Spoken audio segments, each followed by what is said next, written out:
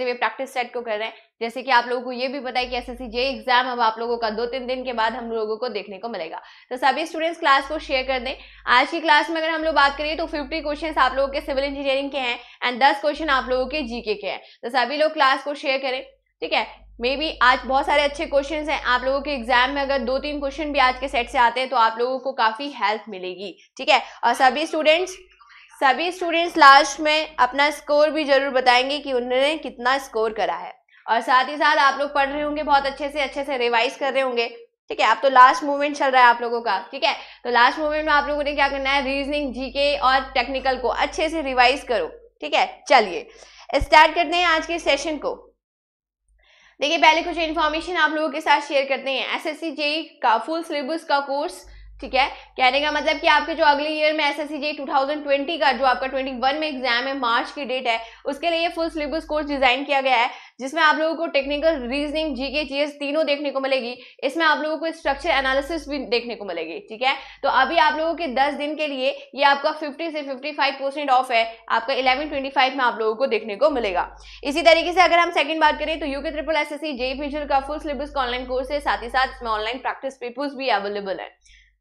आगे चलें तो राजस्थान जेई का फुल सिलेबस का कोर्स इसमें आप लोगों की राजस्थान की जीके भी अवेलेबल है। अगर हम लोग थर्ड बात करें तो यूपीपीएससी ए का फुल सिलेबस का कोर्स इसमें आप लोगों की हिंदी जीके दोनों अवेलेबल है। यस क्रिटिकल पाथ चल रहा है आप लोगों का, बहुत अच्छे। ठीक है तो सभी स्टूडेंट्स क्लास को शेयर कर दें। देखिए, आप लोगों का बिल्कुल भी टाइम वेस्ट नहीं हो रहा है फिफ्टी फाइव मिनट्स में आप लोग सिक्सटी क्वेश्चन को कर रहे हैं। तो कहीं ना कहीं एक अच्छी प्रैक्टिस हो रही है, सुबह से तो खुद ही पढ़ रहे हैं आप लोग। ठीक है स्टार्ट कर दें क्लास को। स्टील के फोर लेक्चर्स ही हैं। देखिए, स्टील के आप लोगों के अभी रनिंग में चल रहे हैं, स्टील आपका अपलोड होगा, बिल्कुल अपलोड होगा। बाकी सारे बाकी सारा सिलेबस हो चुका है उसमें, स्टील के आपके लेक्चर्स अप अपलोड होंगे। तो टेंशन नहीं लेनी है स्टील के लेक्चर्स की एस एस जेई के लिए। और इसमें आप लोगों की जीके और रीजनिंग दोनों अवेलेबल है। चलिए स्टार्ट करते हैं आज के सेशन को। फ़र्स्ट क्वेश्चन आप लोगों की स्क्रीन पे आंसर्स करो। Which shall not be more than fill in the blanks in tension, member, and fill in the blanks in compression, member. तो 55 मिनट्स में हम लोग 60 क्वेश्चंस को कर रहे हैं। तो ज़रूर आप लोग अपनी एक्यूरेसी को देखो कि आप लोग कितना एक्यूरेट कर रहे हो, ठीक है? तो सभी लोग आंसर ज़रूर करेंगे। चलिए, अब आज नहीं पढ़ा तो कोई बात नहीं, एक दिन एंजॉय भी कर लेना चाहिए। देखो, पढ़ाई, जब आप लोगों के एग्ज़ाम होने वाला है तो उससे पहले तो आप लोगों को बहुत ज़्यादा स्ट्रेस लेना भी नहीं चाहिए। अब जितना पढ़ लिया ठीक है, बस रिवाइज हो जाए अच्छे से तो आप लोग बहुत अच्छे से परफॉर्म कर ले जाओगे, ठीक है? तो ज़्यादा स्ट्रेस अब लेना नहीं है। तो सभी स्टूडेंट्स आंसर्स करें, सभी लोग वीडियो को लाइक शेयर भी कर दें। आप देखिए फ़र्स्ट का सी आंसर्स करें वेरी गुड ठीक है? और अपने माइंड से आंसर्स करो देखा देखी में आंसर्स नहीं करना है कि इसने सी कर लिया तो हमने भी सी करना है। तो फिर आप लोग अपने आप को जज नहीं कर पाओगे। तो अगर हम फ़र्स्ट क्वेश्चन के आंसर्स की बात करें तो ऑप्शन नंबर सी आप लोगों का करेक्ट आंसर्स होगा। अगर हम पिच की बात करें तो shall not be more than sixteen T आपके in tension member and twelve T in compression member आप लोगों का राइट आंसर्स होगा। इसका मतलब ऑप्शन नंबर सी आपका करेक्ट आंसर्स आगे चलते हैं नेक्स्ट क्वेश्चन के साथ। For which of the following process Boucherie process is use Boucherie process हमारी किसके लिए यूज़ होती है? ब्रिक्स की मैन्युफैक्चरिंग के लिए सीमेंट की प्रोडक्शन ऑफ़ क्ले टाइल्स की, या ग्रीन टिम्बर के ट्रीटमेंट के लिए? सभी स्टूडेंट्स आंसर्स करें फटाफट से। और सभी लोग अपने प्रेजेंस को भी ज़रूर मार्क करें और आंसर्स भी करके बताएँ। अब आप लोगों के अकॉर्डिंग सेकेंड क्वेश्चन का आंसर्स क्या होना चाहिए? बोचेरी प्रोसेस किसके लिए यूज़ होती है?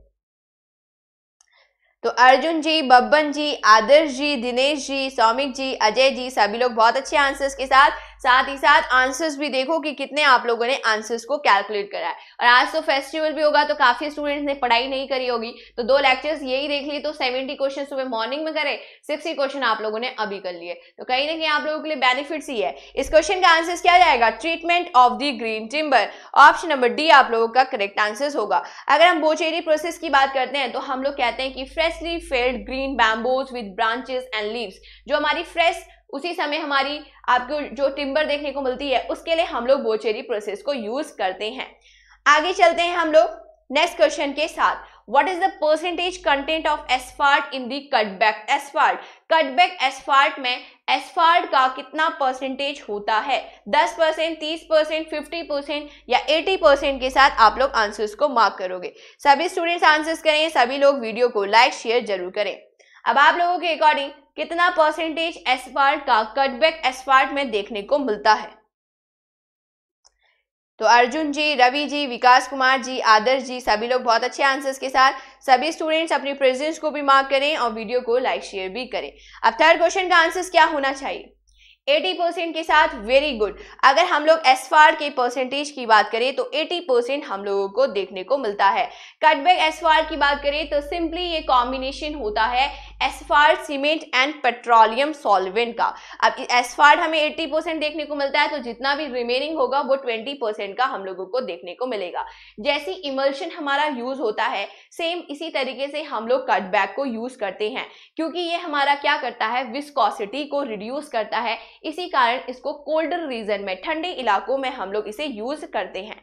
ठीक है? जैसे टैक कोट में फॉग सील्स में स्लरी सील्स में स्टेबलाइजेशन मटेरियल्स में हम लोग इसको प्रेफर करते हैं। आगे चलते हैं नेक्स्ट क्वेश्चन के साथ। In which of the following test of the bitumen ring and ball apparatus is use ring and ball apparatus test आप लोगों का किसके लिए यूज़ होता है? पेनिट्रेशन के लिए सॉफ्टनिंग के लिए विस्कोसिटी के लिए फ्लैश एंड फायर पॉइंट के लिए। सभी स्टूडेंट्स आंसर्स करें, आप लोगों के अकॉर्डिंग क्या आंसर्स जाना चाहिए?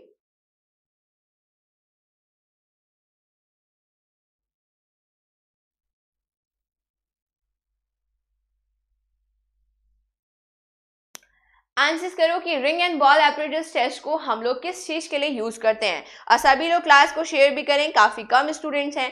आंसर करो फोर्थ क्वेश्चन का।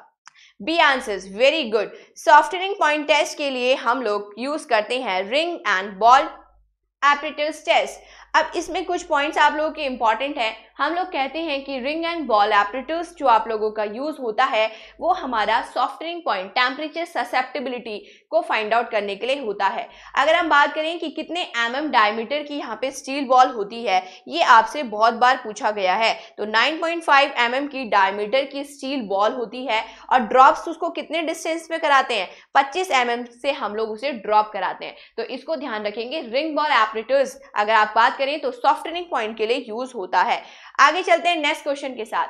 Spacing of tacking tacking fasteners when expose to weather should not exceed tacking rivets आप लोग अगर हम बात करें तो हम लोग टैकिंग रिविट्स को स्टेबिलिटी के लिए प्रोवाइड करते हैं. अब आपसे स्पेसिंग पूछा गया है और बोला गया है कि एक्सपोज टू वेदर अगर हम वेदर में उसको एक्सपोज करके रखें तो स्पेसिंग कितनी होनी चाहिए? सभी स्टूडेंट्स आंसर करें इस क्वेश्चन का फटाफट से. यस yes, 35 से 70 डिग्री सेंटीग्रेड आप लोगों का यहाँ पे टेम्परेचर देखने को मिलता है। वेरी गुड अब इस क्वेश्चन का आंसर करें आप लोगों के अकॉर्डिंग टैकिंग फास्टनर्स की स्पेसिंग क्या होती है? सो so, समझ के आंसर्स करो।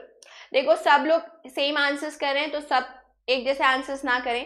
अपने दिमाग लगा के आंसर्स करो। देखो रवि मौर्य जी का डी आंसर्स आ रहा है दिनेश जी का डी आंसर्स बहुत अच्छे।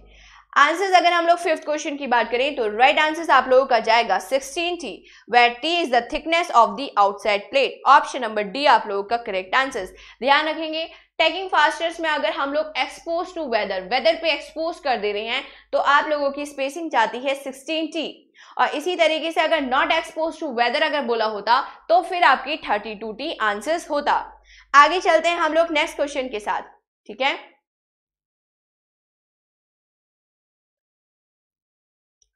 Which of the seasoning method is adopted for the rapid seasoning of timber on large scale?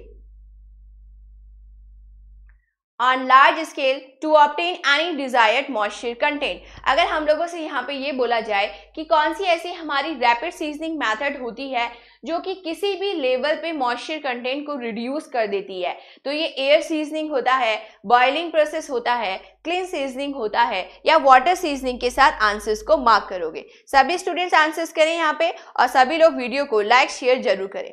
अब आप लोगों के अकॉर्डिंग सबसे हमें रैपिड जल्दी सीजनिंग देखने को मिल रही है मॉइस्चर कंटेंट बहुत जल्दी से आप लोगों का रिमूव हो रहा है लार्ज स्केल पे भी, और उसको आप लोग अपने अनुसार, कितने भी मॉइस्चर कंटेंट तक उसको रिड्यूस कर सकते हैं। इसका मतलब आंसर्स किसके साथ होगा?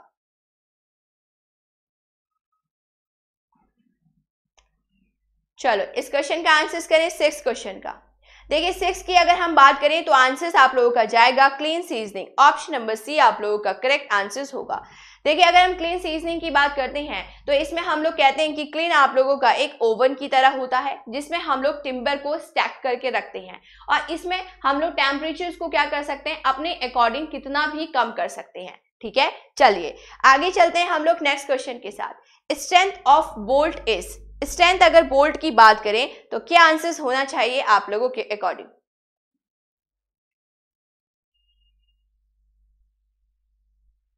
देखो, अगर हम लोग बोर्ड की स्ट्रेंथ की बात करें तो ये हमारी मिनिमम होती है shear strength and bearing capacity of the bolt या बी ऑप्शन आप लोग आंसर्स करोगे maximum of shear strength and bearing capacity of bolt या सी ऑप्शन आंसर्स करोगे shear strength of the bolt या डी ऑप्शन आंसर्स करोगे bearing capacity of the bolt तो strength of the bolt is क्या answers होना चाहिए आप लोगों के अकॉर्डिंग सभी स्टूडेंट्स अपनी प्रेजेंस को भी ज़रूर मार्क करें और आंसर्स करके बताएँ कि सेवेंथ क्वेश्चन का आंसर्स क्या होना चाहिए। वेरी गुड अगर हम लोग स्ट्रेंथ ऑफ़ बोर्ड किसी की भी बात कर रहे हैं तो हम लोग कहते हैं कि minimum of shear strength and bearing capacity of bolt कितने मिनिमम लोड पे जाके वो फेल हो जा रहा है? यही हमारी स्ट्रेंथ है। इसका मतलब ऑप्शन नंबर ए आप लोगों का करेक्ट आंसर नेक्स्ट क्वेश्चन देखो, अगर हम स्ट्रेंथ ऑफ़ बोर्ड की बात करें तो इस minimum of the shear strength and bearing capacity of the bolt design strength की बात करें तो nominal shear capacity upon 1.25 design bearing strength की बात करें तो नॉमिनल बियरिंग कैपेसिटी अपॉन 1.25 आगे चलते हैं नेक्स्ट क्वेश्चन के साथ. एट क्वेश्चन को आंसर करो फटाफट से.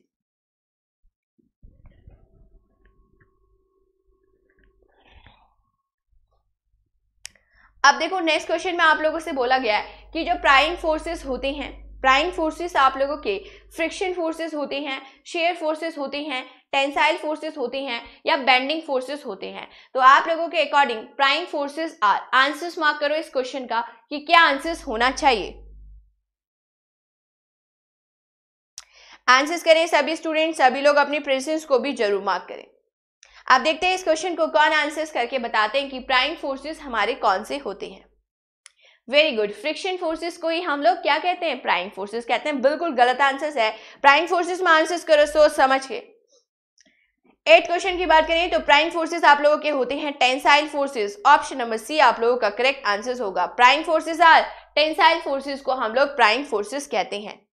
तो हरगोविंद जी, आदर्श जी, काफ़ी लोगों का सी आंसर है। टेंसाइल फोर्सेस देखो in connection subjected to a tensile stresses the flexibility of the connected parts can lead to the deformation और जो ये एडिशनल टेंशन फोर्स हमारा यहाँ पे लगता है, उसको हम लोग प्राइम फोर्सेस कहते हैं।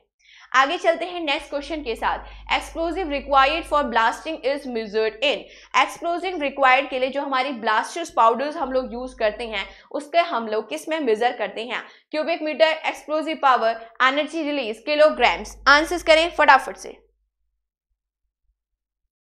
चलिए तो सभी स्टूडेंट्स आंसर्स करें, सभी लोग वीडियो को लाइक शेयर ज़रूर करें. और आप लोगों के अकॉर्डिंग क्या आंसर्स होना चाहिए? नाइन्थ क्वेश्चन का.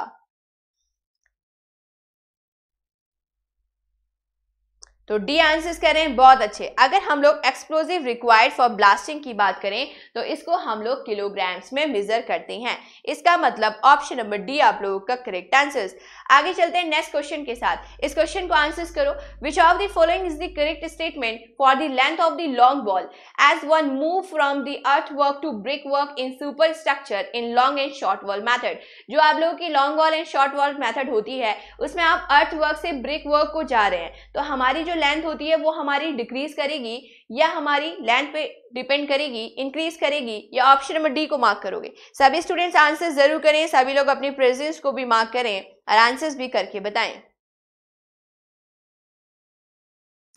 तो उत्कर्ष जी, अभिषेक वर्मा जी, अर्जुन जी, सभी लोग बहुत अच्छे आंसर्स के साथ इस क्वेश्चन में आंसर्स करो। आप लोग क्या कर रहे हैं? आप लोग फाउंडेशन से लेके आप लोग सुपर स्ट्रक्चर की ओर को जा रहे हैं। तो वैल्यू हमारी क्या करेगी यहाँ पे? Very good its value decreases किस क्या डिप करेगी? डिक्रीज करेगी. और इसके अपोजिट में अगर हम लोग कह दें कि सुपर स्ट्रक्चर से अगर हम लोग आ रहे हैं, ठीक है फाउंडेशन की ओर को तो हम लोग कहेंगे its value increases next question which of the following method is use for the estimation of depreciation of building building के डेप्रिशिएशन के लिए हम लोग कौन सी मेथड को अडॉप्ट करते हैं? Constant percentage method direct comparison method logistic cum method rental method answers करो इस क्वेश्चन का, सोच समझ के।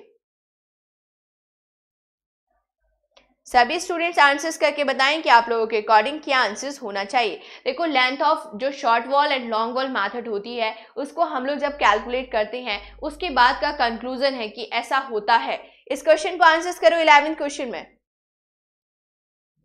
Very good constant percentage method को हम लोग कहेंगे कि डेप्रिशिएशन के लिए यूज़ होता है। आप लोगों को पता है कि D is equal to depreciation is equal to C minus S upon N होता है। सी में हम लोग कहते हैं कि cost of the project S हमारी स्क्रैप वैल्यू एन हमारा number of years option number A आप लोगों का करेक्ट आंसर आगे चलते हैं।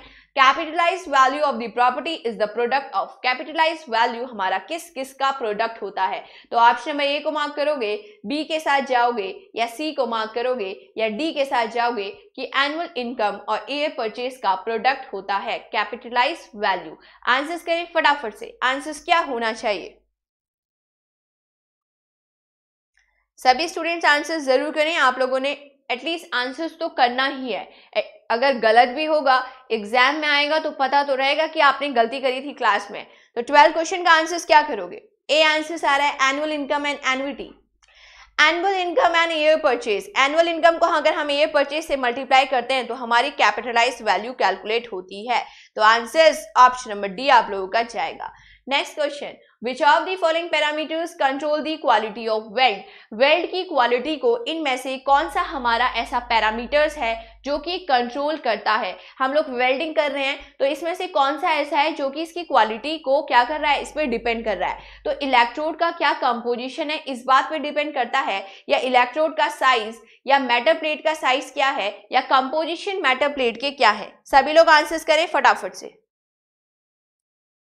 सभी स्टूडेंट्स आंसर्स करें, सभी स्टूडेंट्स अपनी प्रेजेंस को भी मार्क करें वेरी गुड अब इस क्वेश्चन को आंसर्स करो कि क्वालिटी ऑफ़ वेल्ड पे क्या डिपेंड करता है।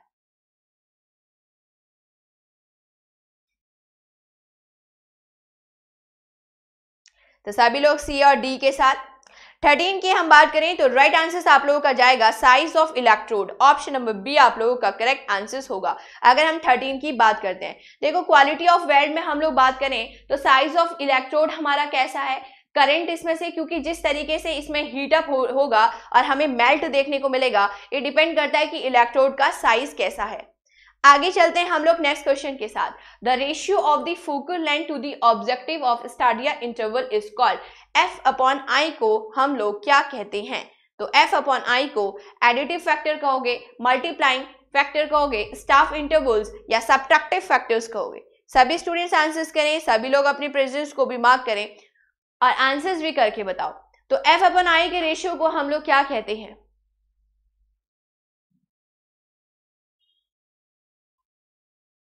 ये तो पहली बार पढ़ रहे हैं। अब देखो, कुछ क्वेश्चंस तो एग्ज़ाम में भी ऐसे ही होंगे ना कि जो हमें पहली बार ही दिखेंगे, ठीक है? इस क्वेश्चन को आंसर्स करो कि एफ़ अपन आई क्या आंसर्स होना चाहिए आप लोगों का। Multiplying factors very good option number B आप लोगों का करेक्ट आंसर्स होगा। आगे चलते हैं फिफ्टीन के साथ। Calculate the additive and multiplying constant focal length F की अगर हम बात करें तो 250 एम mm है। स्टाडिया इंटरसेप्ट की बात करें आई हमारे पास 2 एम mm है। डिस्टेंस हमारे पास दी है 190 नाइनटी mm. आप लोगों से बोला गया है कि कैलकुलेट करो एडिटिव एंड मल्टीप्लाइंग कांस्टेंट फटाफट से आंसर्स करें इस क्वेश्चन का। आप लोगों के अकॉर्डिंग क्या आंसर्स होना चाहिए?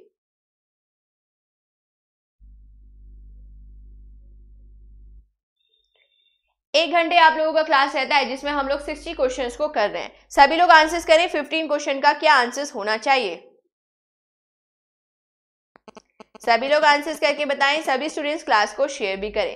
15 में क्या आंसर्स मार्क करोगे? देखो, अगर हम 15 की बात करते हैं तो आप लोगों से क्या बोला गया? एडिटिव बोला गया है तो हमें पता है कि एफ़ प्लस डी और अगर हम लोगों से मल्टीप्लाई पूछ दिया जाए तो एफ़ अपॉन आई हम लोग कहते हैं।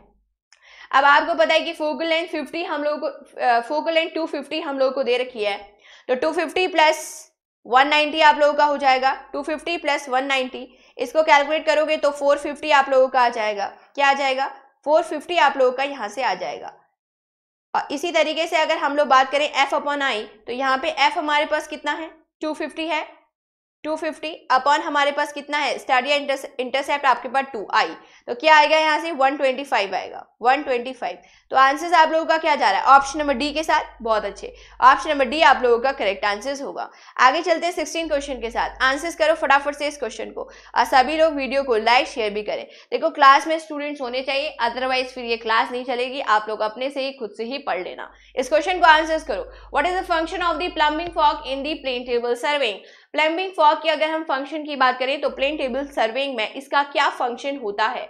ये हमारी प्लेन टेबल को सेंटर करने के लिए यूज़ होती है लेवलिंग के लिए यूज़ होती है ओरिएंटेशन के लिए यूज़ होती है, या ऑब्जेक्ट को साइड करने के लिए यूज़ होती है? आंसर्स करो फटाफट से। सभी स्टूडेंट्स आंसर्स करें और सभी लोग वीडियो को लाइक शेयर भी करना करिए। ठीक है, इस क्वेश्चन को आंसर्स करो कि 16 में क्या आंसर्स होना चाहिए। 16 की अगर हम लोग बात करें प्लम्बिंग फॉग तो ये हम लोग यूज़ करते हैं use for the centering of the plane table option number A आप लोगों का करेक्ट आंसर होगा। अगर हम लोग बात करें प्लम्बिंग फॉग की तो इस तरीके से हम लोगों को देखने को मिलता है, ये यू फ्रेम आप लोगों का है, ये आप लोगों का प्लम बॉब है, जो कि हमारा क्या कर रहा है, इसको सेंटर करने का काम कर रहा है। ठीक है, आगे चलते हैं नेक्स्ट क्वेश्चन के साथ। The maximum error on the drawing should not be greater than अगर हम लोग बात करें कि हम लोग ड्राइंग बना रहे हैं, इसमें मैक्सिमम जो एरर हमारी, इससे ज़्यादा एरर नहीं होनी चाहिए। अदरवाइज़ अगर इससे ज़्यादा एरर एग्जिस्ट करती है तो फिर हम उस ड्राइंग को यूज़ नहीं करते हैं अपने कंस्ट्रक्शन पर्पसेस के लिए। तो आंसर्स आप लोगों के अकॉर्डिंग क्या होना चाहिए?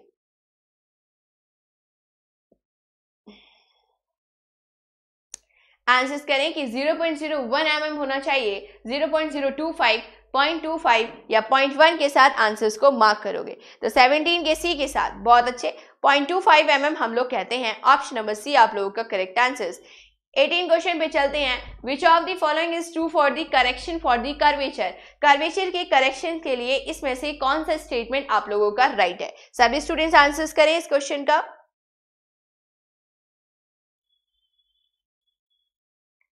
तो आदर्श जी, विपिन जी, तपस कुमार जी, अभिनव जी, सुब्रता घोष जी, पूनम पंत जी, रवि जी, अर्जुन जी, संदीप अग्री जी, सभी लोग बहुत अच्छे आंसर्स के साथ वेरी गुड इस क्वेश्चन को आंसर्स करो 18 में क्या आंसर्स होना चाहिए? कि corrections for the curvature CC की अगर हम बात करते हैं तो यहाँ पे आप लोगों का क्या राइट right आंसर्स होना चाहिए? अब देखो सीसी की अगर हम लोग बात कर रहे हैं तो हम लोग कहते हैं कि 0.07895 इंटू डी स्क्वायर हमको देखने को मिलता है। और अगर हम करेक्शन की बात करें तो ये हमारा नेगेटिव होता है। डी को हम लोग यहाँ पे किलोमीटर्स में रखते हैं। तो आंसर किसके साथ जाएगा?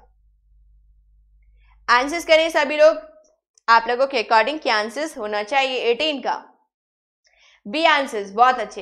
It is always the negative and proportional to the square of the distance between the staff and instrument option number B आप लोगों का राइट आंसर्स 19 पे चलते हैं। Which of the following type of the is most suitable for lap and T joints lap and T joints के लिए सबसे अच्छा वेल्ड हमारा कौन सा होता है? Fillet weld groove weld slot weld या प्लग वेल्ड को आप लोग आंसर्स मार्क करेंगे। सभी लोग आंसर ज़रूर करें। आप लोगों के अकॉर्डिंग क्या आंसर्स होना चाहिए। तो देखो, अगर हम लोग बात करते हैं कि सबसे अच्छा वेल्ड अगर लैप और टी ज्वाइंट्स के लिए बात करें तो आप लोगों का आंसर्स क्या होना चाहिए?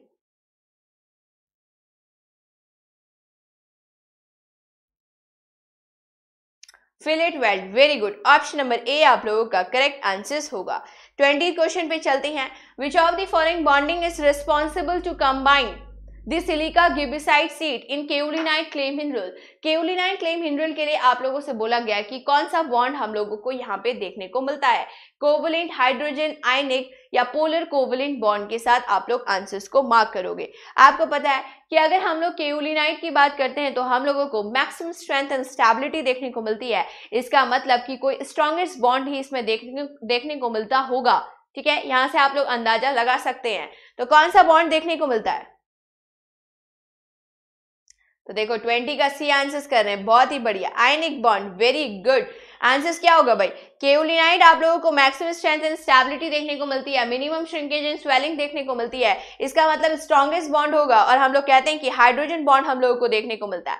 वाटर बॉन्ड की बात करें तो मोन्टो मोरिलोनाइट में देखने को मिलता है। आयनिक बॉन्ड की बात करें तो इलाइट में देखने को मिलता है। आगे चलते हैं। Which of the following types of roller is most suitable for proof rolling subgrades and for finishing operation of fills with clay और सैंडी सॉइल क्ले और सैंडी सॉइल दोनों सॉइल्स के लिए हमारे पास कौन सा रोलर ऐसा होता है जो हमारा यूज़ होता है। न्यूमेटिक रबर टायर रोलर होता है शिफ्ट फुट रोलर होता है स्मूथ व्हील रोलर या वाइब्रेटरी रोलर के साथ आप लोग आंसर्स को मार्क करोगे। सभी स्टूडेंट्स आंसर्स करें इस क्वेश्चन का। तो आदर्श जी, सतीश सिंह जी, सौमिक जी, संदीप अग्री जी इंजीनियर सौरभ सिंह जी, सभी लोग बहुत अच्छे आंसर्स के साथ अब इस क्वेश्चन में आप लोगों के अकॉर्डिंग क्या आंसर्स होना चाहिए? 21 का B sheep foot roller clay और सैंडी। क्ले के लिए भी यूज़ हो सकता है, सैंडी के लिए भी यूज़ हो सकता है। तो ये क्या है? सब लोग डिफरेंट डिफरेंट आंसर्स के साथ। 21 का क्या आंसर होना चाहिए? 21 का आंसर जाएगा आप लोगों का smooth wheel roller option number C आप लोगों का करेक्ट आंसर शेफ फ़ूड की बात करें तो ओनली क्ले के लिए हम लोग कहते हैं। न्यूमेटिक रबर टायर की बात करते हैं तो सिल्टी सैंड सिल्टी ग्रेवल्स के लिए कहते हैं, और बोला गया आप लोगों से। तो स्मूथ व्हील रोलर्स को हम लोग यहाँ पे प्रेफर करते हैं। नेक्स्ट क्वेश्चन हाइड्रोलिक रेडियस आप लोगों को आर की वैल्यू आप लोगों को दे दिया 4.5 मीटर्स और एरिया आप लोगों को दे दिया गया 18.5 स्क्वायर मीटर्स और आपसे क्वेश्चन पूछा गया है कि what is the weighted parameter of the channels तो वेटेड पैरामीटर्स फाइंड आउट करके बताएँ कि क्या आंसर्स होना चाहिए। सभी लोग आंसर्स ज़रूर करें। अब आप लोगों के अकॉर्डिंग 22 का आंसर्स क्या होना चाहिए? आप सभी को पता है कि R इज़ इक्वल टू हमारे पास होता है एरिया अपॉन पैरीमीटर्स और R की अगर हम बात करें एरिया अपॉन पैरीमीटर्स R की बात करें तो 4.5 आप लोगों को दिया गया है। ए की बात करें तो 18.5 आप लोगों को दिया है। अपॉन पैरीमीटर्स हो जाएगा। पैरीमीटर इज़ इक्वल टू अगर हम बात करें तो 18.5 अपॉन आप लोगों का 4.5 हो जाएगा। सॉल्व करें 22 का आंसर क्या आ रहा है? 4.11 आ रहा है। इसका मतलब ऑप्शन नंबर ए आप लोगों का राइट आंसर हो जाएगा। 23 पे चलते हैं। 23 का आंसर करें सभी लोग। Deflection can be reduce by deflection को अगर हमें रिड्यूस करना है तो हम लोगों को क्या करना पड़ेगा? सभी लोग आंसर्स करें, सभी स्टूडेंट्स वीडियो को लाइक शेयर ज़रूर करें। आप 23 में आप लोगों के अकॉर्डिंग क्या आंसर्स होना चाहिए? तो आदर्श जी, सोविक जी, बब्बन जी वेरी गुड दिलसाद जी, सभी लोग अच्छे आंसर्स के साथ। अब डिफ्लेक्शन को अगर हम लोग रिड्यूस करना चाहते हैं तो हम लोगों ने क्या करना पड़ेगा इसमें? आंसर्स करो सभी लोग। बिल्कुल, हम लोगों को क्या करना पड़ेगा? डेप्थ को हम लोगों ने इंक्रीज कर देना पड़ेगा, जिसके कारण हमारा डिफ्लेक्शन क्या हो सके? रिड्यूस हो सके। आगे चलते हैं। Which of the following statement is correct for the sprinkler irrigation method sprinkler irrigation method की अगर हम लोग बात करें तो हम लोग कहते हैं कि water is applied in the form of spray spray के फॉर्म में हमारा वाटर यहाँ पे हम लोग अप्लाई करते हैं। ठीक है हम लोग कहते हैं कि रोलिंग लैंड आप लोगों के हिली एरियाज़ में जनरली हम लोग स्प्रिंकल इरीगेशन मैथड को यूज़ करते हैं। अब आपसे क्वेश्चन पूछा गया है कि इसके रिगार्डिंग अगर आप लोगों से पूछा जाए कि स्प्रिंकल इरीगेशन मैथड में कौन सा स्टेटमेंट करेक्ट है तो आप लोग कौन से आंसर्स को यहाँ पे मार्क करोगे? सभी लोग आंसर ज़रूर करें इस क्वेश्चन का।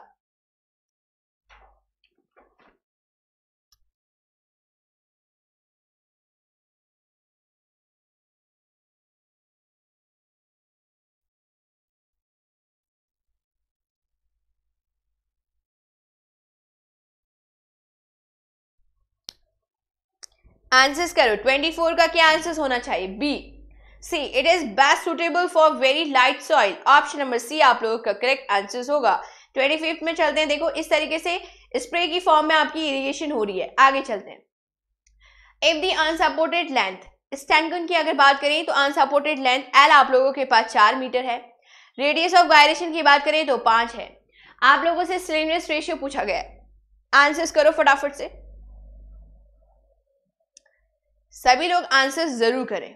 इसके बाद 50 क्वेश्चन आप लोगों के टेक्निकल है, उसके बाद 10 क्वेश्चन आप लोगों के करंट अफेयर्स के हैं। तो क्या आंसर्स होना चाहिए? देखो, आपको बोला गया cylinder ratio lambda lambda upon R हम लोग कर सकते हैं। L upon R sorry L की बात करें तो चार मीटर चार मीटर हम लोग सेंटीमीटर में चेंज कर दो, चार सौ। आर आप लोगों को पाँच दे रखा है। तो आप लोगों के पास कितना आ गया? एट्टी आ गया। ऑप्शन नंबर सी आप लोगों का करेक्ट आंसर हो गया। ट्वेंटी सिक्स में चलते हैं। Of keeping concrete wet to enable it to attain full strength is known as, आप लोगों ने क्या कर दिया? कंक्रीट को पूरा गीला कर दिया, पूरा वेट कर दिया, जिससे कि वो क्या कर सके? फुल स्ट्रेंथ को अचीव कर सके। तो ये क्यूरिंग है वेटिंग है ड्रेंचिंग है या क्विंचिंग है? सभी स्टूडेंट्स आंसर्स करें इस क्वेश्चन का। तो सुब्रता घोष जी, अनवर जी, रवि जी, सभी लोग बहुत अच्छे आंसर्स के साथ वेरी गुड अभी इस क्वेश्चन में आप लोगों के अकॉर्डिंग क्या आंसर्स होना चाहिए? क्यूरिंग वेरी गुड अगर हम लोग कॉन्क्रीट को वेट कर रहे हैं, कि उसकी, वो अच्छी स्ट्रेंथ को अपना अचीव कर सके, इसका मतलब हम लोग क्यूरिंग कर रहे हैं। क्यूरिंग की बात करें तो एक ऐसी प्रोसेस होती है जो कि हमारे मॉइस्चर कंटेंट को मेंटेन करके रख रही है। ठीक है? आगे चलते हैं हम लोग। इस तरीके से क्यूरिंग देखने को मिलती है। नेक्स्ट क्वेश्चन आप लोगों से बोला गया है कि W P and W F are the weights of the cylinder containing partially compacted and fully compacted concrete. If the compaction factor is 0.95, the workability of concrete is देखो ध्यान रखोगे अगर हम लोगों से बोला जाए कि कॉम्पैक्शन फैक्टर्स को हम लोग कैसे कैलकुलेट करते हैं तो हम लोग कहते हैं कि partially compacted concrete to the fully compacted concrete इसका रेशियो होता है अब पॉइंट नाइन फाइव आप लोगों की है तो इसका मतलब हमारी वर्केबिलिटी कैसी होगी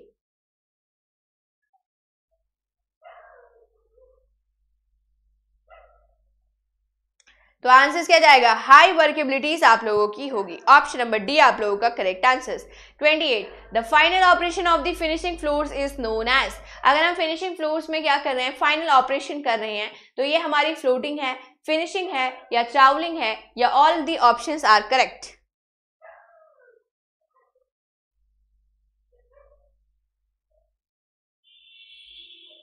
कल क्लास नहीं है, कल आप लोगों का संडे है, ठीक है? इस क्वेश्चन का आंसर करो फिनिशिंग फ्लोर्स में हमारा फाइनल ऑपरेशन क्या होता है?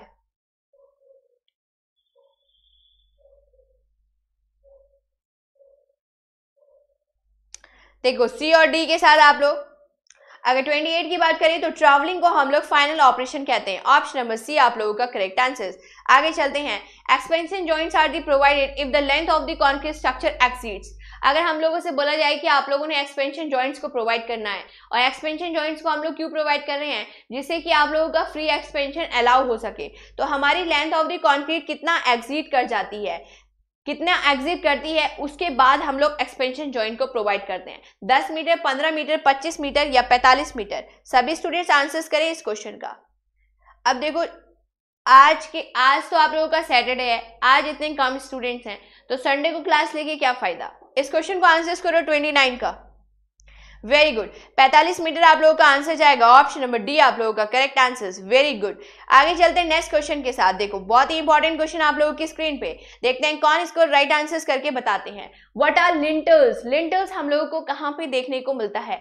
बीम्स जो कि प्रोवाइडेड इन फाउंडेशन फाउंडेशन में बीम प्रोवाइड हो रही, उसको लिंटल कहते हो, या बीम्स हमें अपनी छत में रूफ ऑफ़ द बिल्डिंग में देखने को मिलती है, उसको हम लोग लिंटल कहते हैं, या कॉलम के अबब जो हमारी ओपनिंग होती है, उसको हम लोग लिंटल कहते हैं, या बीम जो कि हमारी वॉल की, ठीक है beam above opening in wall wall की ओपनिंग में हमारी जो बीम होती है, उसको लिंटल कहते हैं.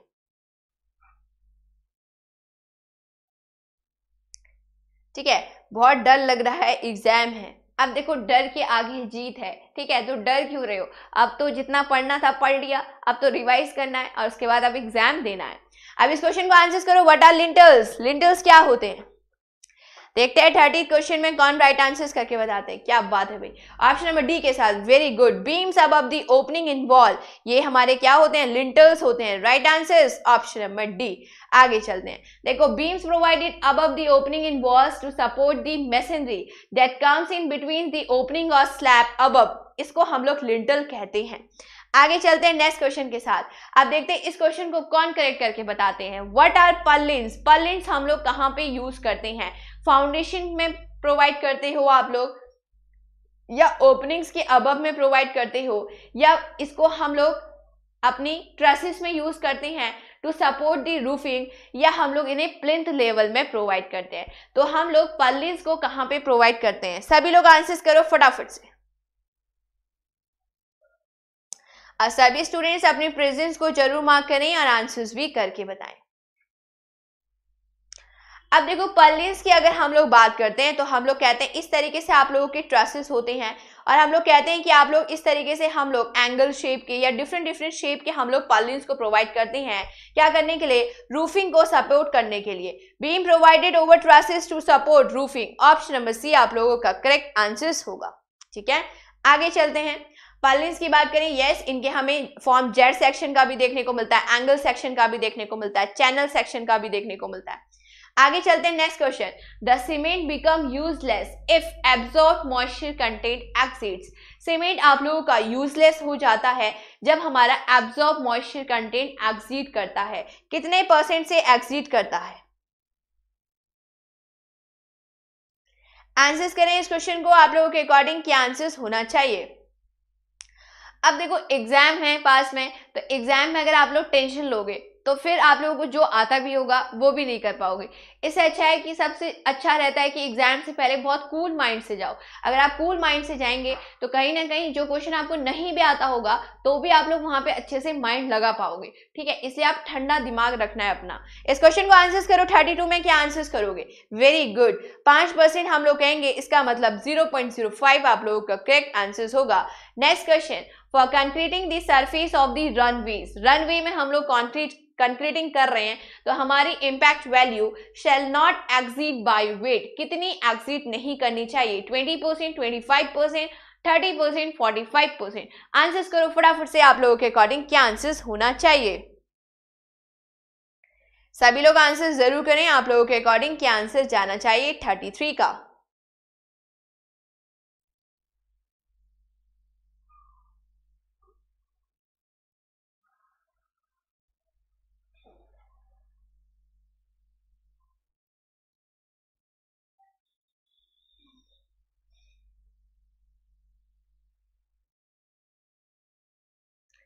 ठीक है थर्टी थ्री का आंसर्स की बात करें तो option number C thirty percent आप लोगों का करेक्ट आंसर्स होगा। Very good option number C आप लोगों का correct answers next question a sample of a cement is set to be sound man it does not contain free आप लोग cement को साउंड कब कहते हैं? जब उसमें फ्री हम लोगों को क्या नहीं देखने को मिलता? लाइन देखने को नहीं मिलता सिलिका देखने को नहीं मिलता आयरन ऑक्साइड देखने को नहीं मिलता या alumina is set to be when it does not contain free free हम लोगों को क्या देखने को नहीं मिलता है? तब जाके हम लोग उस सीमेंट को साउंड सीमेंट कहते हैं। सभी लोग आंसर्स करें इस क्वेश्चन का, आप लोगों के अकॉर्डिंग क्या आंसर्स होना चाहिए। तो देखिए, अगर हम 34 की बात करते हैं तो राइट आंसर आप लोगों का क्या चला जाएगा? लाइन चला जाएगा। ऑप्शन नंबर ए आप लोगों का करेक्ट आंसर 35 देखते हैं इस क्वेश्चन को कौन राइट आंसर्स करते हैं। देखो मैक्सिमम डिफ्लेक्शन पूछा गया है यूनिफॉर्मली डिस्ट्रीब्यूटेड लोड के लिए। Over the entire span of the cantilever beam cantilever beam of length cantilever of length L and flexible rigidity आपकी ई e आई है। देखो, आप लोगों से बोला गया है कि ये कैंटिलीवर बीम है आप लोगों की। इस तरीके से हमारा क्या है? यूडीएल हमारा इस तरीके से है। W पर यूनिट लेंथ अब आप लोगों से बोला गया है कि मैक्सिमम डिफ्लेक्शन हमारा यूनिफॉर्मली डिस्ट्रीब्यूटेड लोड के लिए क्या होना चाहिए? तो दो, तीन छः आठ आप लोगों का होता है। ठीक है? तो यहाँ पे क्या आंसर होना चाहिए? दो हम लोग स्लोप कहते हैं, जब कैंटिलीवर की बात करते हैं, और पॉइंट लोड आप लोगों का होता है, और डिफ्लेक्शन में तीन आता है। इसी तरीके से इधर बात करें यूनिफॉर्मली में तो छह आप लोगों के स्लोप में आता है, और आठ हमारा किसमें आता है? डिफ्लेक्शन में आता है। तो आंसर्स क्या होना चाहिए? थर्टी का सी आंसर्स बहुत अच्छे। ऑप्शन नंबर सी आप लोगों का करेक्ट आंसर्स होगा। वेरी गुड आगे चलते हैं 36 के साथ। The movement of इनिशिया of the triangular section height h है बेस b है अबाउट इट्स बेस इज़ तो ट्रायंगुलर सेक्शन का मूवमेंट ऑफ़ इनिशिया क्या होता है? सभी लोग आंसर्स करें और सभी स्टूडेंट्स आंसर्स करके बताएँ। तो सतीश सिंह जी, सुब्रता जी, संजय कुमार जी, अनवर जी, अर्जुन जी, रेहान जी, तपस कुमार जी, सभी लोग बहुत अच्छे आंसर्स के साथ। अब इस क्वेश्चन में देखो ट्रायंगुलर सेक्शन की बात करी जा रही है। तो इसका मतलब answer B H cube by twelve option number C आप लोगों का करेक्ट आंसर आगे चलते हैं। The load on a spring per unit deflection is called अगर हम बात करें कि load on a spring per unit deflection P by delta की बात हो रही है। लोड पर यूनिट डिफ्लेक्शन तो ये स्टिफनेस है रेजिलियंस है स्ट्रेस है या लोड है।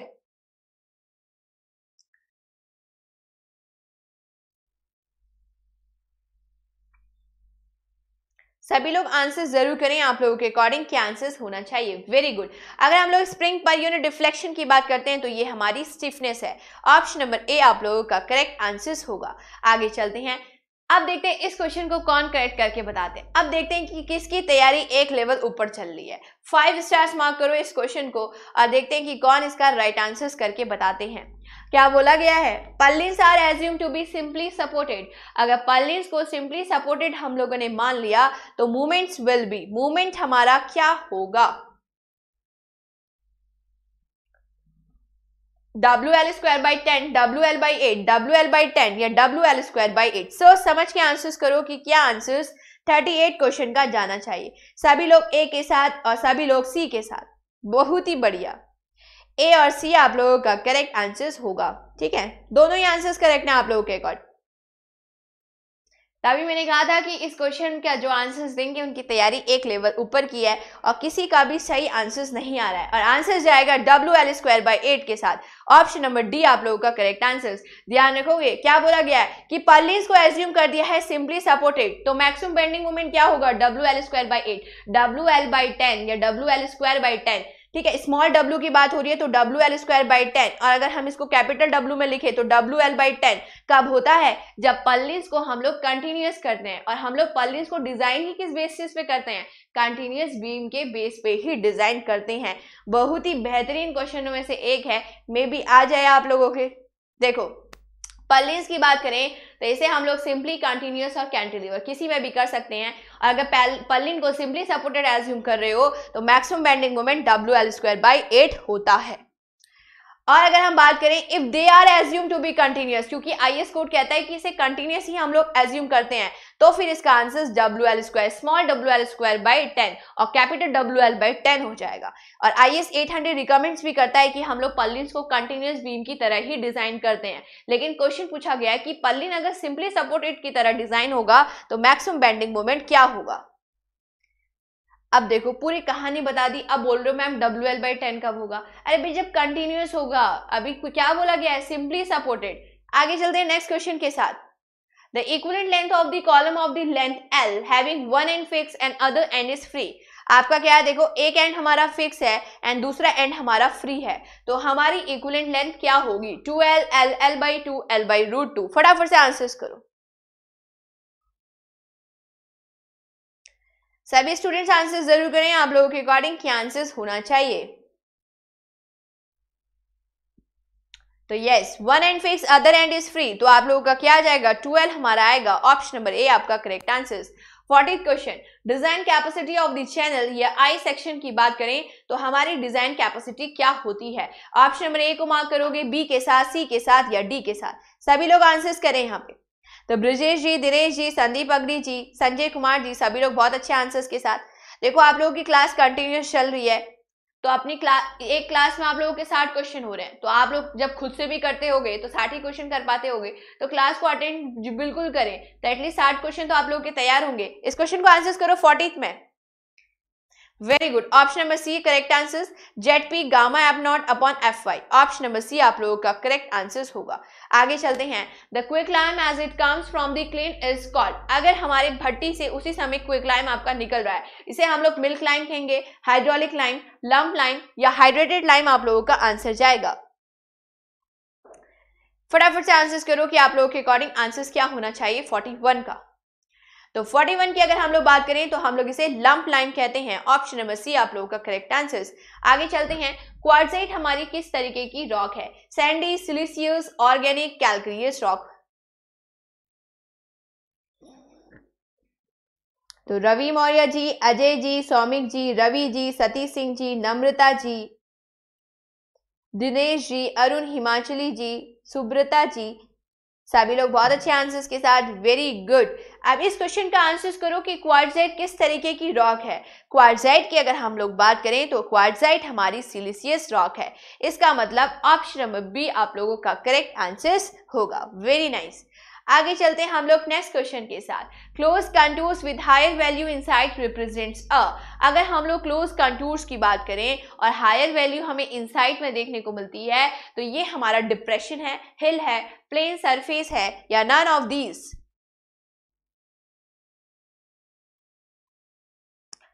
तो देखिए, अगर हायर वैल्यू आप लोगों को इनवर्स देखने को मिल रही है, इसका मतलब ये हमारी हिल है। ऑप्शन नंबर बी आप लोगों का करेक्ट आंसर होगा। 44 में चलते हैं। आ, देखो, इसी तरीके से अगर लोअर वंस अगर हमें इनसाइड अगर वन और मोर हायर वंस इनसाइड देखने को मिले तो इसे हम लोग हिल कहते हैं। सिमिलरली अगर इसके अपोजिट की बात करें तो हम लोग इसे डिप्रेशन कहते हैं। आगे चलते हैं। What is the slope at the end of simply supported beam of span 2 meter and a load of 5 kg per unit length over the entire span? इस क्वेश्चन को आंसर्स करो फटाफट से। देखिए, अगर हम लोग स्लोप की बात करते हैं तो ये हमारी सिंपली सपोर्टेड बीम है। और ये हमारी सिंपली सपोर्टेड बीम है, इसकी स्पैन की बात करें तो स्पैन आप लोगों का दो मीटर है। और आप लोगों से बोला गया है कि जो लोड हमारा है, वो लोड हमारा क्या है? यूडीएल है। और 5 के पर यूनिट लेंथ आप लोग यहाँ पे बोल रहे हैं इसको। अब बोला जा रहा है कि स्लोप कैलकुलेट करो कि स्लोप क्या है। तो आप लोगों को फॉर्मूला याद होना चाहिए। अगर हम स्लोप की बात करते हैं तो W L cube upon twenty four into E I आप लोगों के पास होता है। डब्ल्यू की बात करें तो फाइव इंटू टू का cube upon twenty four into आ जाएगा। और यहाँ से सॉल्व करेंगे तो five upon three into E आपके पास आ जाएगा। इसका मतलब आंसर आप लोगों का ऑप्शन नंबर बी के साथ जाएगा। आगे चलते हैं। Shade should not have pitch more than अगर हम लोग स्टेज की बात करें तो पिच किससे ज़्यादा नहीं होनी चाहिए? 25, 30, 40, 50, 60 सभी लोग आंसर ज़रूर करें। इस क्वेश्चन का आप लोगों के अकॉर्डिंग क्या आंसर होना चाहिए? तो अजय जी, संजय कुमार जी, ब्रिजेश जी, सौमिक जी, सतीश सिंह जी, बब्बन जी, सभी लोग बहुत अच्छे आंसर्स के साथ। वेरी गुड तो 45 में क्या आंसर्स करोगे? पिच मोर देन 45 40 डिग्री से ज़्यादा नहीं होनी चाहिए। 46 For which of the following slope of the roof truss angle section purlin can be used? आप लोगों से क्या बोला गया है? अगर हम लोग अपनी रूफ ट्रस के slope slope of roof truss की बात करते हैं तो यहाँ पे हम लोग पलिस को यूज़ कर रहे हैं। तो कितने एंगल्स में हम लोग करते हैं? 25, 50, पिछहत्तर 60 डिग्री। देखते हैं कौन इसको करेक्ट आंसर्स करते हैं।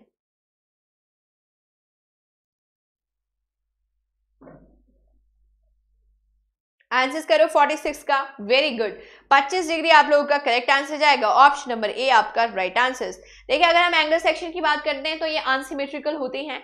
और अगर हम बात करते हैं तो रूफ ट्रस में ये क्या होना चाहिए? लेस देन 30 डिग्री इनका स्लोप होना चाहिए। आगे चलते हैं। Flange cover plates are use in plate girder when हम लोग क्या कर रहे हैं? फ्लेंज जो आप लोगों का पोर्शन है, उसमें कवर प्लेट को यूज़ कर रहे हैं। क्यों करते हैं हम ऐसा? कि flange cover plates are not use aesthetic appearance के लिए या मूवमेंट रेजिस्टिंग कैपेसिटी हमारी बहुत बढ़ जाती है। तो उस, इसलिए हम लोग कवर को यूज़ करते हैं या डिक्रीज कर जाती है, इसलिए करते हैं। सभी लोग आंसर्स करो इस क्वेश्चन का फटाफट से। आप लोगों के अकॉर्डिंग क्या आंसर्स होना चाहिए?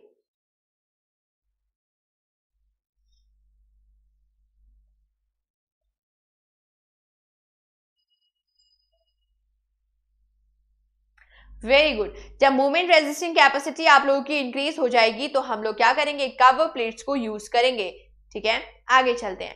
Which of the following loads are not considered in the design of gantry girders ये हम लोगों ने बहुत बार पढ़ा है। अगर हम गैंट्री गर्डर्स की बात करते हैं तो हम लोग कौन से लोड को यहाँ पे कंसिडर नहीं करते हैं? Longitudinal gravity lateral wind loads फटाफट से आंसर्स करो। सभी लोग बहुत अच्छे आंसर्स के साथ। वेरी गुड अब आप लोगों के अकॉर्डिंग इस क्वेश्चन का आंसर क्या जाना चाहिए? तो देखो गैंट्री गर्डल्स की अगर हम लोग बात करते हैं तो हम लोग लॉन्गिट्यूडनल लोड्स को भी यूज़ करते हैं ग्रेविटी को भी यूज़ करते हैं लेटरल लोड्स को भी करते हैं तो किसको नहीं करते हैं? तो आंसर्स विंड लोड के साथ चला जाएगा। आगे चलते हैं हम लोग नेक्स्ट क्वेश्चन के साथ। The minimum recommended rise of the trusses with galvanize iron sheet अगर हम लोग अपनी रूफ में, ठीक है हम ट्रसेस की बात कर रहे हैं तो हम लोग गैल्वनाइज आयरन सीट्स को यूज़ कर रहे हैं तो आप लोगों से बोला गया है कि मिनिमम कितना राइस करना चाहिए मिनिमम कितना राइस आप लोगों का करना चाहिए तो वन इन ट्वेल्व होना चाहिए one in six one in ten one in eighteen very very important question आप लोगों के एग्ज़ाम के लिए।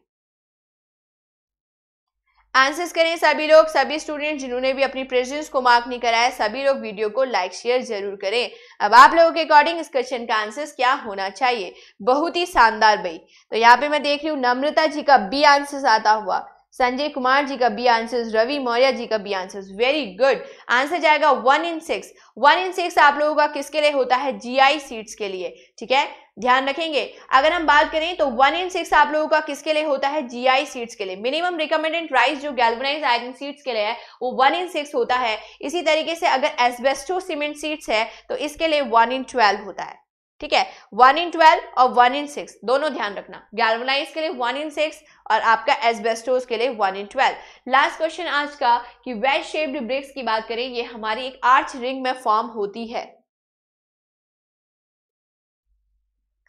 इस क्वेश्चन को आंसर करो कि आप लोगों के अकॉर्डिंग क्या आंसर्स होना चाहिए। वेज शेप्ड ब्रिक की अगर हम बात करते हैं तो ये सोफिट है, वासोसिर है, हॉन्च है, या स्पेंड्रल्स आप लोग आंसर्स को मार्क करोगे। लास्ट क्वेश्चन आप लोगों का सिविल का, उसके बाद हमारे दस क्वेश्चन आप लोगों के जीके जीएस के हैं। GK GS in the sense की करंट अफेयर्स के हैं। इस क्वेश्चन को आंसर करो। यस वासोसियर हम लोग इसे कहते हैं। ऑप्शन नंबर बी आप लोगों का करेक्ट आंसर तो ये वेस्ट शेप्ड हम लोगों को जो देखने को मिलती है, इसको हम लोग वासोसियर कहते हैं। अब आप लोगों का स्टार्ट होता है जीके सेक्शन जिसमें कि हम लोग 10 क्वेश्चन को कवर कर रहे हैं। तो टारगेट रहना चाहिए कि 10 आउट ऑफ़ 10 आप लोगों ने आंसर्स मार्क करने हैं।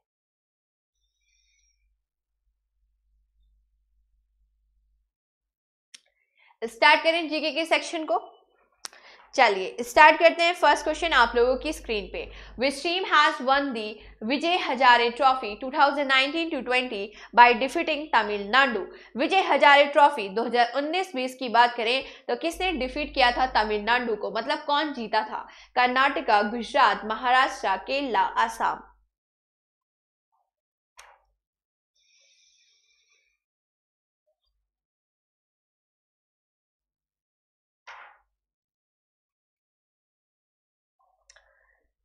तो किसने जीती थी विजय हजारे ट्रॉफी? क्या आंसर होगा? कर्नाटका ने जीती थी भाई Vijay Hazare trophy. Option number A आप लोगों का करेक्ट आंसर दूसरा and which state a traditional emergency service number dial hundred hundred होता है आपका इमरजेंसी नंबर इसको रिप्लेस करके वन वन टू कर दिया गया है। कौन सी गवर्नमेंट ने करा ऐसा? आंध्र प्रदेश ने, उत्तर प्रदेश ने, तेलंगाना ने, आसाम ने वेस्ट बंगाल ने।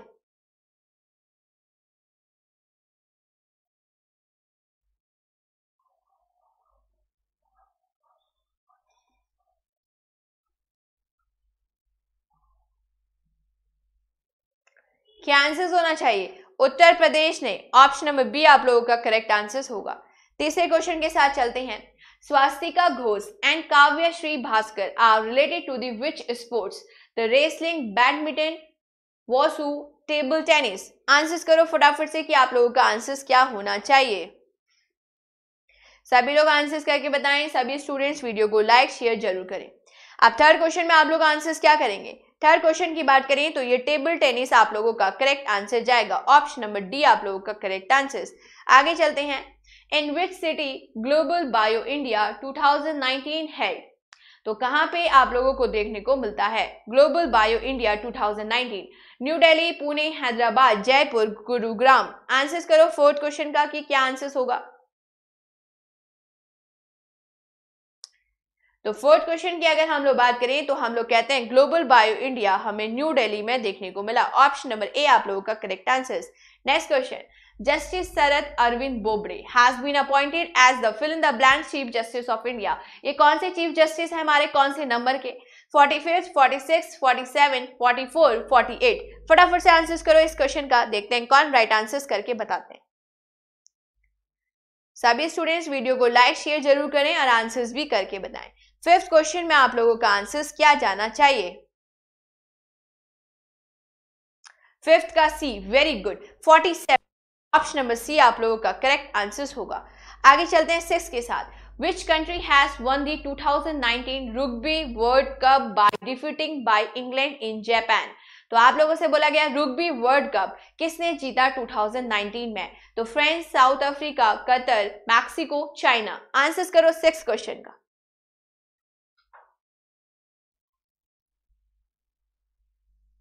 सभी लोग आंसर ज़रूर करें, सभी स्टूडेंट्स अपनी प्रेजेंस को भी ज़रूर मार्क करें।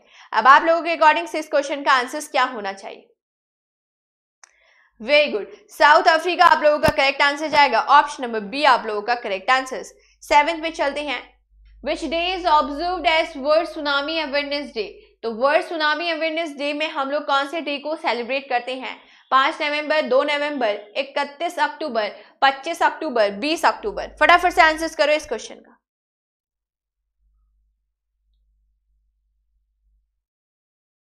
तो सेवन क्वेश्चन में अगर हम लोग बात करें तो हम लोग क्या कहेंगे?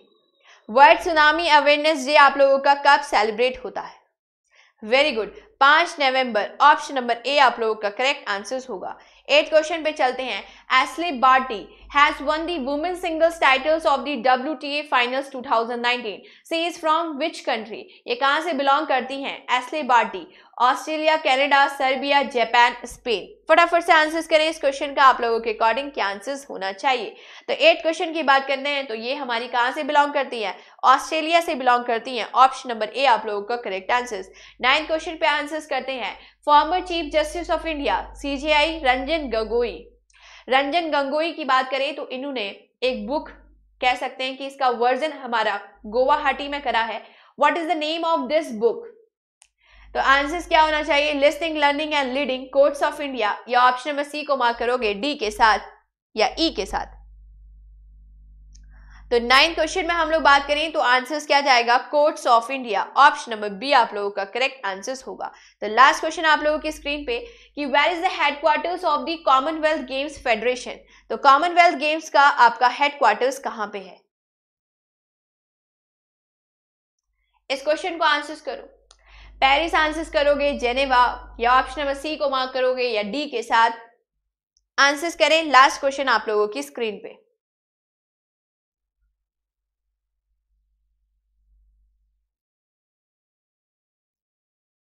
दसवें का डी। तो आंसर क्या जाना चाहिए? आप लोगों का लंदन यहाँ पे आंसर जाएगा। इसका मतलब ऑप्शन नंबर डी आप लोगों का करेक्ट आंसर दसवें क्वेश्चन का।